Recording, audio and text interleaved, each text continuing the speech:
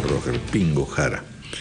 Este, para conversar un poco sobre la situación en la que estamos en este debate de si se debe o no eh, cambiar algunos de los alcances de toda esta amplísima reforma universitaria en la que se empeñó el Congreso y el país eh, eh, la gestión anterior. ¿Qué es lo que ha ocurrido y qué balances podemos hacer? Evidentemente, uno de los puntos de partida es que toda norma es perfeccionable sobre la base de su aplicación, pero aquí de lo que se discute es que también hay pues intereses y, complejidades eh, que efectivamente llevan a que el debate se reavive. Bienvenidos, gracias por estar con nosotros. Gracias, gracias por la invitación. Buenos días. Buenos días, gracias. Señor rector, a ver, cuéntenos usted cuál es su opinión con respecto de cómo está el curso de la discusión con respecto a si se debe o no hacer cambios en eh, la aplicación de la nueva ley universitaria. Bueno, se ha avanzado en el proceso de mejora a nivel de universidades del país pero definitivamente toda ley, como usted dice, es perfectible y puede mejorarse, siempre apuntando a la mejora de la calidad académica, de la exigencia académica, de la investigación científica, la parte internacional. ¿no? Yo lo veo por el lado de la academia que ahí es donde debe fortalecerse siempre lo cual mejora eh, las facilidades para acceso a líneas internacionales, en financiamiento internacional para investigaciones, innovaciones tecnológicas. ¿no? Incluso en los rankings internacionales exigen eh, en diferentes variables que esto se fortalezca. ¿no? Desde ese punto de vista, toda ley es perfectible y, y comparto que se pueda mejorar. Y Alberto Mingolea, bienvenido. ¿Cómo estás? ¿Qué tal? A ver, em, sabes perfectamente que yo me opuse a la ley universitaria eh, a lo largo de todo el debate y voté en contra además de la misma, tanto en la comisión como en el Pleno. Pero, a ver, ya es ley, tampoco el Perú está para estar en marchas y contramarchas. Y sobre todo en aspectos eh, tan sobre Todo en aspecto tan delicado. Entonces, más allá de lo que fue mi posición en aquel debate, yo entiendo que ya tenemos una norma que tiene un tiempo y que hay que dejarla desarrollar. Sin embargo, parto de, la premisa inicial de la pregunta. Toda ley es perfectible y creo que esta en particular lo es en muchos puntos. De manera que creo que el debate, más allá de buscar eh, derogar o no esta norma, que es lo que algunos pretenderían, creo que nos tendría que servir para hacerle ajustes a la misma, después de haberla visto en desarrollo en estos primeros años, este, ajustes que me parecen necesarios y que ¿Cuáles ajustes? Por ejemplo, siempre se dijo en el debate que lo que se buscaba era eh, algunas mm, modificaciones legales para buscar la calidad en, la gestión universitaria. Yo sigo diciendo que esta norma no me da ninguna herramienta para lograr la calidad. Lo que hace es confundir la, la calidad que debiera buscarse con requisitos burocráticos, digamos, ¿no? Entonces... Pero que hayan 25% de profesores nombrados, ¿le parece burocrático o una realidad? que haya dinero que tiene que ser invertido en investigación y en publicaciones, ¿le parece algo burocrático o es una realidad de excelencia? Yo no he dicho que todo, o sea, hay algunas cosas que son óptimas. Por ejemplo, el 25% de profesores no nombrados, sino a tiempo completo, me parece perfecto. Por cierto, es una norma que la Universidad Señor Cipán cumple con largueza. Eso lo aplaudo, me parece que es sensacional.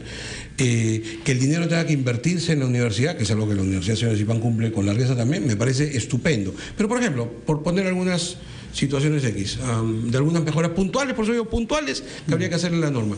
Sigo oponiéndome al tema de ponerle un límite a la edad del, del profesor. O sea, un profesional muy competente, llega al final de su periodo profesional y yo quisiera tener la universidad dictando, pero la ley le pone un tope y me dice Puede seguir dictando, usted lo sabe, dictando. ya no a tiempo completo nombrado para que los jóvenes puedan tener trabajo, pero siguen dictando. No, pero ahora según la ley ya no puede. Sí puede hacerlo. No puede hacerlo, explíqueme. Por horas.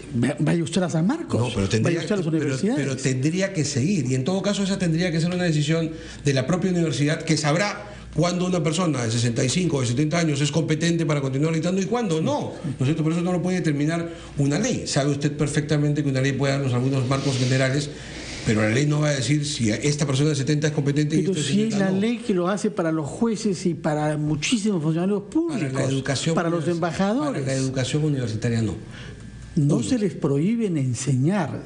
Lo que la ley quiere, usted lo sabe, es liberar puestos para que los jóvenes puedan tener tiempo completo nombrado y que los que tienen más de 70 lo hagan por horas. perdón, ese es el tema que yo discuto, pues. Es que ese es exactamente el tema que yo discuto. Yo no quiero tener como profesor, entre comillas, a los jóvenes. Yo quiero tener a los mejores Ojalá que entre esos mejores haya jóvenes, pero yo quiero los mejores. Pero tal vez, quiero tal vez no en, la... en, los educandos, no en... sí, pero... Pero solamente para terminar la idea. A eso es a lo que yo me refería con burocracias, es decir, necesito buscar siempre los mejores, siempre la excelencia, no algunos márgenes que no necesariamente tienen que casarse con eso. De acuerdo, pero también es verdad, y tal vez no sea la, la, la realidad de las universidades donde usted trabaja, que la, el sistema de renovación en las universidades es peor que en los partidos políticos. Puede ser. de verdad, y hay, y hay gente que, que se renueva y el trabajo académico requiere también cierta capacidad de actualización que a las personas mayores no tienen por qué pedírseles todo el tiempo, ¿no? Entonces un chico se va, hace su doctorado fuera, regresa y sigue sin oficina, sin ser nombrado. Complicado, por, ¿no? Por partes. Ese es apenas un ejemplo, no me parece lo más importante. Segundo, insisto, no es el caso de la CIPAN, al contrario, los profesores que yo tengo en mi facultad son profesores, digamos, tengo ahorita un promedio de 40 años. Porque es una universidad joven también. Claro, estupendo. Pero era apenas un ejemplo de los, muchos que yo De acuerdo, pero eso es discutible. Lo, ponía solamente a título de ejemplo, ¿no? Eh, esto, esto, sí no les va a gustar, pero es mi, mi, percepción. El, el margen o la cantidad de profesores con ah, títulos a los que tú te referías que, se, exige. Yo tengo magníficos profesores, y ahí sí conozco magníficos profesores que no tienen todavía, digamos, un título de maestría, o, el doctorado que a veces se exige. Y tengo más bien, y esta es la realidad del Perú, esto es lo que quiero que se entienda, en la realidad del Perú, hoy día hay una serie de programas que entregan, o sea, tenemos un montón de másters la verdad pues este, deja mucho que desear. Entonces, ese no puede ser el requisito para ser profesor. Puede ser uno de los, de los ítems. sí que y, puede, es discutible. Yo, sé, yo te dije Alberto, te, adelante que me lo ibas a discutir. Pero lo, lo, que yo estoy diciendo es no que se elimine, pero que se permita un margen mayor de manejo. Es decir, la ley hoy día te permite un 10% un 10%. Yo digo, ese margen deberíamos ampliarlo.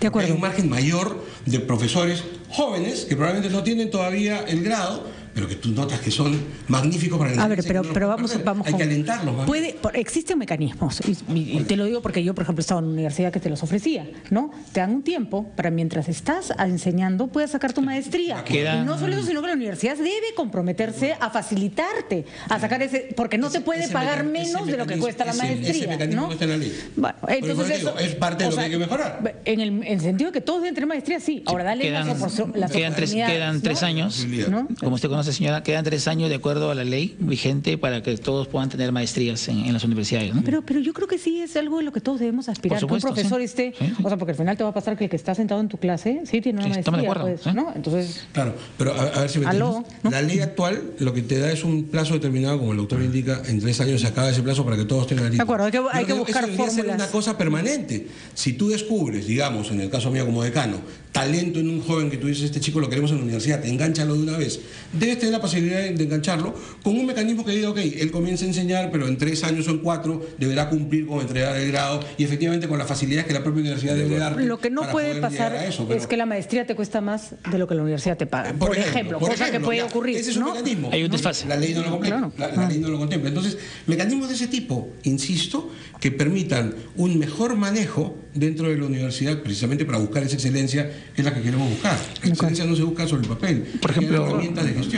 Por nuestra parte, eh, señor, es eh, como universidad, no le voy a dar una opinión académica, como le dije al inicio, mientras más sea la exigencia académica, se saluda, ¿no? Mientras más sea la investigación científica, se saluda.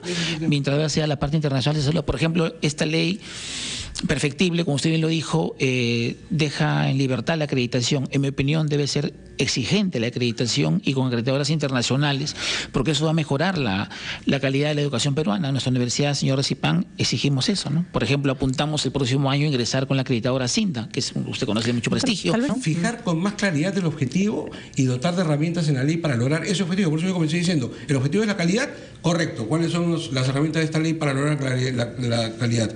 creo que se equivocan esas herramientas. Creo que en algunas son exigencias que no deberían ser y faltan más bien otras que hay que exigir para lograr que la universidad tenga la calidad que se requiere. Así eso apuntamos. Gracias, gracias al doctor Roger Pingo y al excongresista Alberto Bengolea por haber Muchas gracias a ustedes. Muchas gracias a ustedes. 9 y 31, vamos a hacer una pausa.